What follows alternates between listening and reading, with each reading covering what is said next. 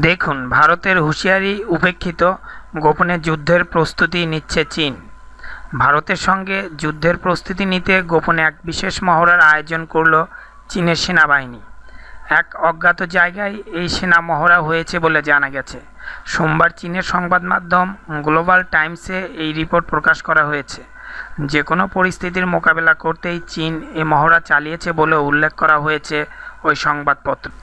এদিকে ভারতীয় সেনার উপর হামলা চালালে মৃত্যু মিছিল দেখবে চীন। এই ভাষাতেই চীনকে সতর্ক করে দিল ভারত। ভারতের স্বরাষ্ট্র ও প্রতিরক্ষা মন্ত্রণালয়ের শীর্ষ কর্মকর্তাদের উদ্ধৃত করে এমনটাই জানিয়েছে সর্বভারতীয় এক সংবাদ মাধ্যম। ভারতের প্রতিরক্ষা বিশেষজ্ঞরা এই বিষয়ে একমত। তবে ডোকলাম ও অন্যান্য সীমান্তবর্তী এলাকায় ছোটোখাটো অনুপ্রবেশ চালাতে পারে চীন। ভারতকে চাপে রাখতে কূটনৈতিকভাবে কিছুটা সুবিধা আদায় করে নিতে পারে চীন, তবে চূড়ান্ত সংঘাতের পথে এখনই হাঁটার সাহস দেখাবে না চীন। জানা গেছে, চীনা সেনাবাহিনীর ওয়েস্টার্ন থিয়েটার কমান্ডের দশ ইউনিট এই মহড়ায় অংশ নিয়েছে। বিমান বাহিনীও এই মহড়ায় উপস্থিত ছিল। ভারত চীন সীমান্তে সবচেয়ে বেশি প্রভাব হয়েছে এই ওয়েস্টার্ন কমান্ডের।